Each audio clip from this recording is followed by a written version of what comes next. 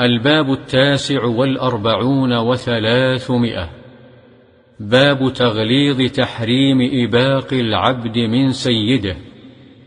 عن جرير رضي الله عنه قال قال رسول الله صلى الله عليه وسلم أيما عبد أبق فقد برئت منه الذمة.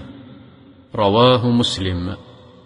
وعنه رضي الله عنه عن النبي صلى الله عليه وسلم إذا أبق العبد لم تقبل له صلاة. رواه مسلم. وفي رواية فقد كفر.